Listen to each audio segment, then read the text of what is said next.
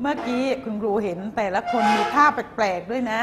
เพราะว่าเป็นไงลูก เป็นท่าที่สนุกสนานของเราไม่เป็นไรค่ะคุณครู ถือว่าเด็กๆสนุกคุณครูก็ชอบด้วยนะคะ เพราะฉะนั้นภาคบ่ายเนี่ยเราก็เคลื่อนไหวเป็นไปแล้ว คุณครูก็มาทบทวนเนื้อหาครั้งที่แล้วนะคะ เราอยู่ในเนื้อหาพุทธประวัตินะคะ ครั้งที่แล้วคุณครูก็ได้นำเสนอไปในเรื่องตอนประสูตรนะคะ แล้วก็ตอน พิธีแรกนาขวัญใช่ไหมคะ เอาละค่ะ ย้อนกลับไปนิดหนึ่งนะตอนประสูตรใช่ไหมคะ พระพุทธเจ้าชื่อเดิมว่าเจ้าชายอะไรคะลูก เจ้าชายสิทธัตถะนะคะ เป็นพระราชโอรสของพระเจ้าสุโธธนะ และพระนางสิริมหามายา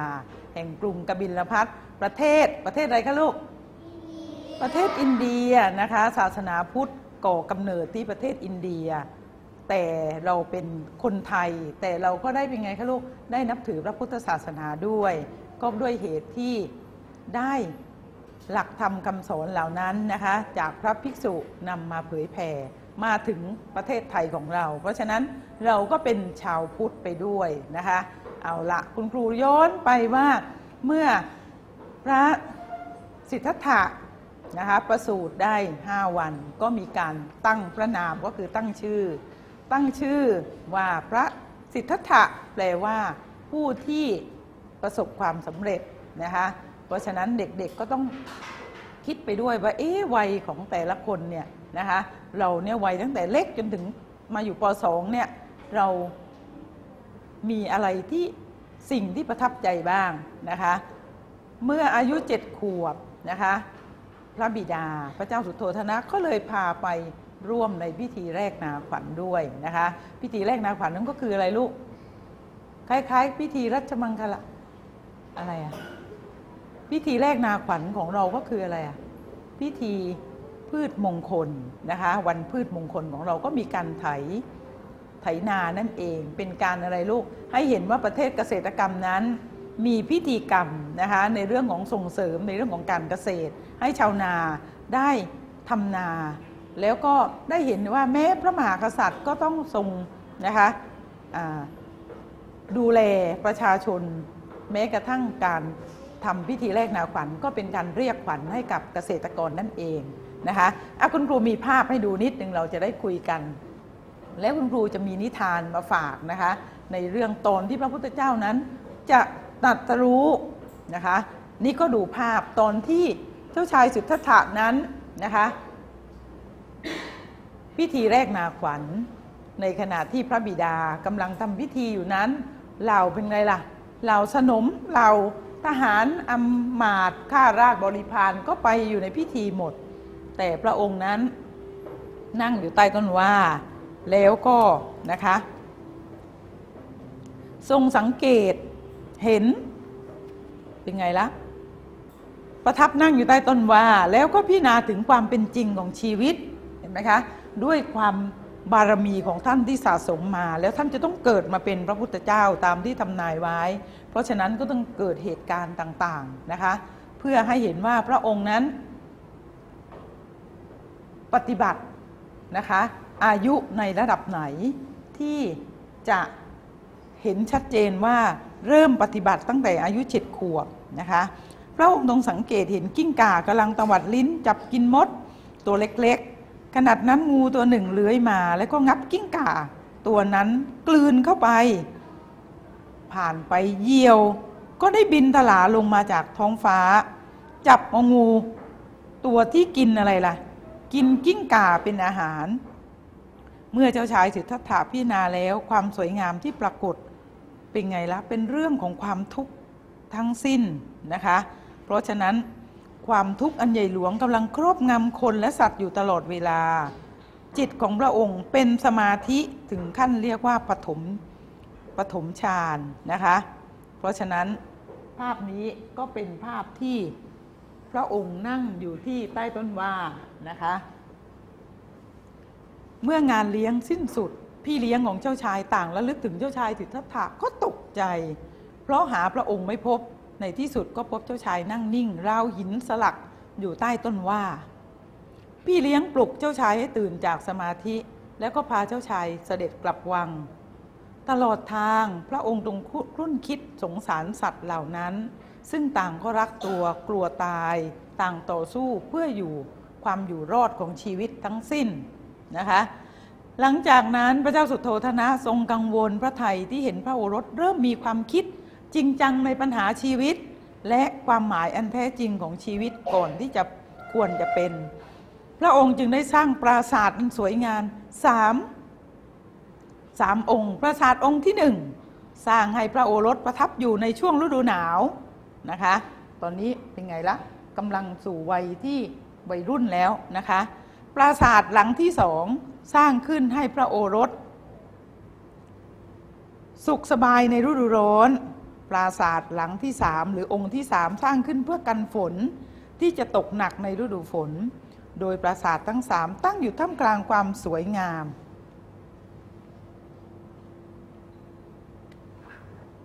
นะคะนี่ก็สร้างปราสาทให้แล้ว เพราะฉะนั้น พระเจ้าสุโธธนะตั้งพระไทยที่จะให้พระโอรสทรงละเลิกความคิดที่จะออกผนวดด้วยอำนาจ ของความเพลิดเพลินของความสุขที่มีบ้านเหมือนกับมีบ้าน ก็คือปราสาทสามหลังนั่นเองนะคะ แต่เป็นยังไงล่ะ ในที่สุดพระองค์ก็ เมื่ออายุ 16พรรษาก็เลยเป็นไงคะลูกอ้าวคุณครูให้ไปย้อนไปดูสไลด์นะคะ พุทธประวัติ คุณครูเล่ามาถึงทบทวนไปถึงตอนที่กำลังเป็นหนุ่ม นะคะเอาย้อนไปนิดหนึ่งให้เด็กๆได้เห็นถึงนะคะว่าสิ่งที่เป็นพุทธประวัตินั้นเราควรที่จะได้เรียนรู้นะคะหลังจากนั้นอยู่สามฤดูปราสาทสามฤดู ฤดูร้อน ฤดูฝน ฤดูหนาว แล้วก็เมื่อพระองค์อายุ 16พรรษา พระเจ้าสุโธธนะก็ทรงให้อภิเษกสมรสกับ พระนางพิมพาหรือพระนางยโสธรานะคะ หลังจากแต่งงานแล้วก็เป็นไงคะลูกแต่งงานแล้วก็หรือเราเรียกว่าอภิเศษสมรสแล้ว ก็อยู่ในเมืองในปราสาทแต่ละแต่ละหลังตามฤดู เรียกว่าอยู่ในวังมีแต่ความสุข แต่เจ้าชายสิทธัตถะนั้น ก็ยังเป็นไงคะลูกยังระลึกอยู่ว่า เอ๊ะเราจะหาทางดับทุกข์ นะคะที่เกิดขึ้นนั้นได้อย่างไร ในที่สุด พระองค์ก็ขอนะขอออกไปประพาสนอกปราสาท เพื่อทอดพระเนตรสิ่งที่เบิกบานพระไทย พระเจ้าสุโธธนะก็เลยให้ประชาชนเนี่ยจัดเตรียมนะคะจัดเตรียมสิ่งต่างๆไว้ ให้เห็นว่าบ้านเมืองนั้นมีแต่ความสวยงาม แต่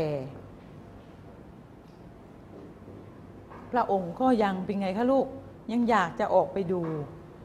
หลังจากที่ พระนางพิมพานะคะก็ได้ประสูติพระโอรสชื่อพระราหุลเมื่อเจ้าชายสิทธัตถะอายุ 29พรรษาหรือ 29 ปีนะคะ หลังจากนั้นก็เลยอยากจะออกไปเสด็จประพาส เมื่อออกไปเสด็จประพาสนะคะ สิ่งที่พบเห็นในอุทยานก็คือเทวทูตสี่เทวทูตสี่ก็คือใครบ้างเด็กๆ ช่วยคุณครูสิใครบ้างคะลูกเทวทูตสี่ดูในภาพสิอ้าวคนแก่ คนแก่ ใครอีกคะลูกคนเจ็บเห็นไหมคนเจ็บนอน คนเจ็บคนป่วยนะคะ แล้วก็คนตายนะคะ คนตายแล้วก็ใครอีก นักบวชนะคะ นักบวชเห็นไหมเสด็จประพาสพร้อมกับนายฉันทะนะคะ ปรากฏว่าพระองค์ก็เลยถามว่าชนะทำไมคนถึงต้องแก่ ทุกคนเกิดมาแล้วต้องแก่ เมื่อแก่แล้วก็เป็นไงคะ เมื่อแก่แล้วก็ต้องเป็นไงหลังโครงกระดูกก็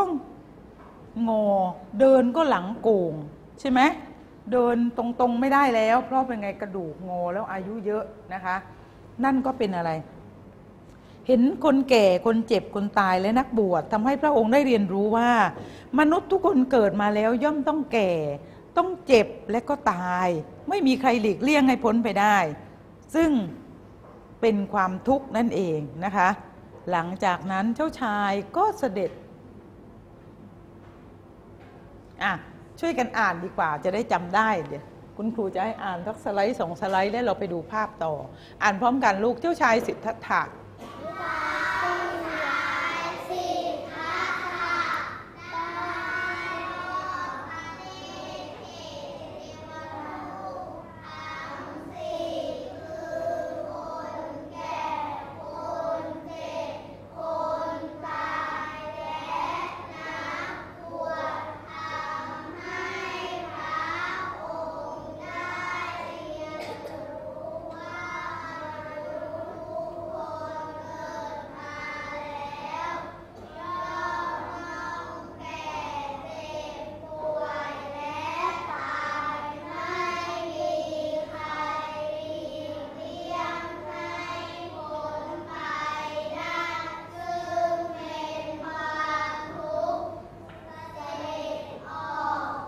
ผนวด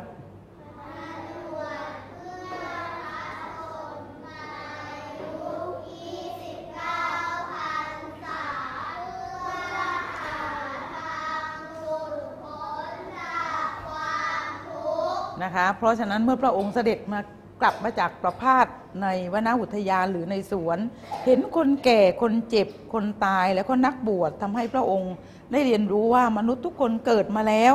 ย่อมต้องแก่ ต้องเจ็บป่วยและก็ตาย ไม่มีใครหลีกเลี่ยงได้นะคะ ปัจจุบันนี้ยังหลีกเลี่ยงได้ไหมลูก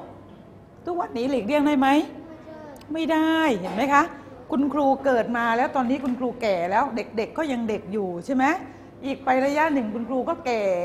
กระดูกงอเหมือนกันนะคะ แล้วก็เป็นไง แล้วก็คนเราก็ต้องตายใช่ไหมคะ ตายแล้วก็เหลือแต่ชื่อ แล้วไม่รู้ตายแล้วไปไหน ใช่ไหม